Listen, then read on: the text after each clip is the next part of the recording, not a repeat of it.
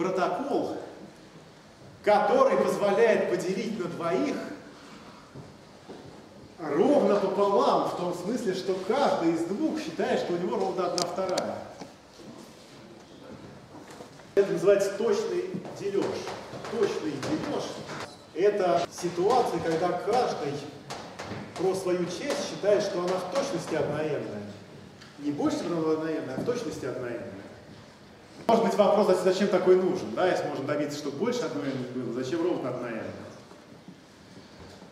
Но это может использоваться в каких-то более хитрых конструкциях. И в частности, для равного двум я хочу такой протокол показать. И потом, может быть, если останется время, то изучим, как его применять для деления без на четверых. Это называется протокол Остина.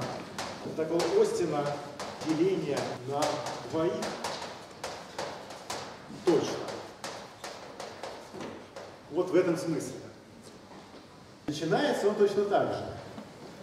Начинается он с того, что выпускается нож вдоль пирога, и кто-то кричит «стоп». Но когда он закричал «стоп», то на этом все не заканчивается. На этом все не заканчивается. Вот нож дошел докуда-то до сюда. И в этот момент появляется еще один нож. Второй нож. После этого тот, кто крикнул, кто остановил первую стадию, ведет два ножа согласованно друг с другом, так, чтобы между этими ножами была, оставалась ровно одна вторая. Да, мы это уже обсудили, что тот, кто останавливает нож вот здесь, вот, он должен остановить ровно тогда, когда ровно одна вторая. Значит, тот, кто остановил первую стадию, ведет два ножа, два ножа, так что между ними ровно одна вторая с его точки зрения. Вот. То есть, во-первых, он кричит «стоп». Да, значит, «стоп» кричит, когда нож дошел до одной второй, до медиана. И если на первой стадии нож движется объективно, просто равномерно прямолинейно то на второй стадии они начинают двигаться субъективно. Тот, кто кликнул, начинает их двигать вместе, так, чтобы между ножами оставалась ровно одна вторая. И второй кричит «стоп» в тот момент, когда с его точки зрения между ножами тоже одна вторая. Значит, другой,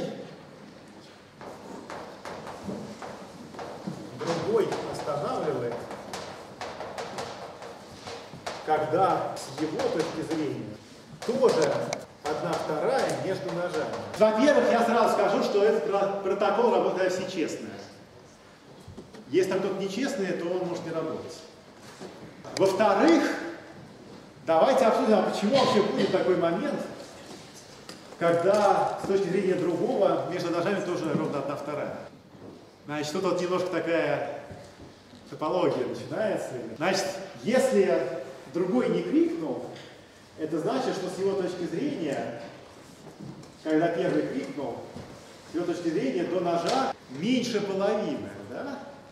Что если было больше половины, то он сам бы крикнул раньше. Согласны? Вот. А когда закончится вот этот процесс, да, то есть тот, кто стоял, то есть между ножами ровно половина, и он их ведет согласованно, когда этот процесс закончится. Ну, когда правый нож дойдет до конца торта. А где в момент будет левый нож?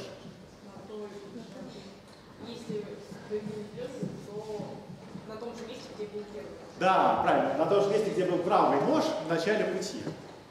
Да, потому что тут получается, что вот здесь одна вторая, одна вторая, и здесь одна вторая.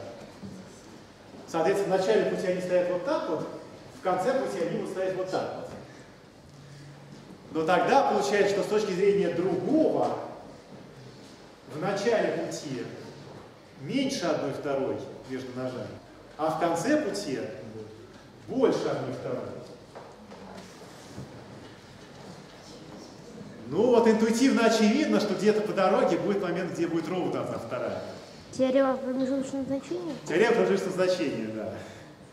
Теорема промежуточного значения, да, что если, э, поскольку, да, значит, тут важно, что нет таких перескоков.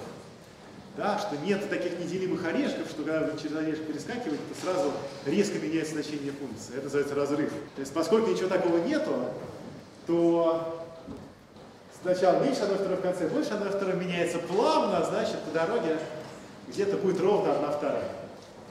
Ну вот формально это действительно теорема значения, но наглядно ясно, что вы, если вы берете так линию, то она где-то пересечет.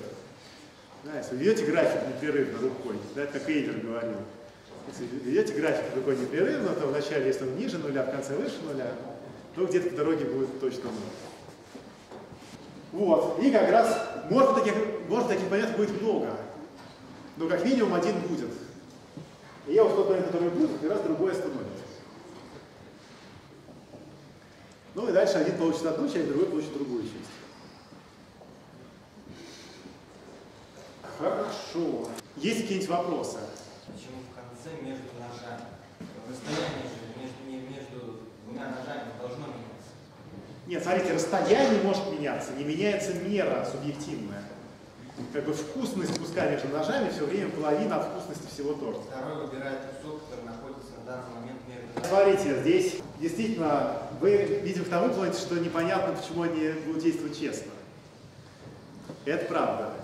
Значит, это работает, если все действуют честно. Значит, если они действуют честно, то не важно, кто какой кусок получит. То действительно, когда э, другой остановит, то оба куска и между ножами кусок связаны. И другая часть, которая слева от левого ножа и справа от правого, суммарно, вот эти две части по одной второй от всего торта. Вот. Если они действуют нечестно, то возможны варианты.